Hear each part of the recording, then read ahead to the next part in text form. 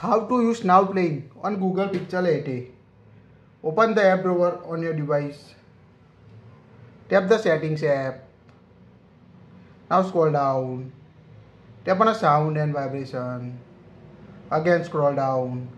Here you can see the Now Playing option. Tap on it. Now toggle on identify songs playing nearby. It will helpful to identify the song playing your nearby device on a device. Here you can see settings notification, show search button on lock screen. Make sure toggle on it. It will helpful to identify the song playing the nearby on your phone.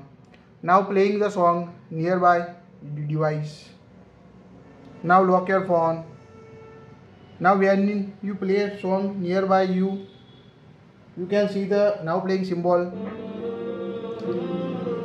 Now you can see the now playing symbol on the lock screen. Tap on it. Now it will be searching the song.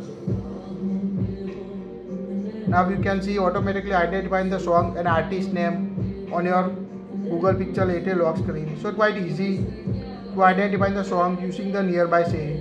You can also see now playing history. Tap on it. Now you can find the now playing history. You can see the latest all time history on your device. To delete it, just long press it tap on a trash icon to delete now playing history. So quite useful feature to identify the song playing the nearby on your phone. That's it.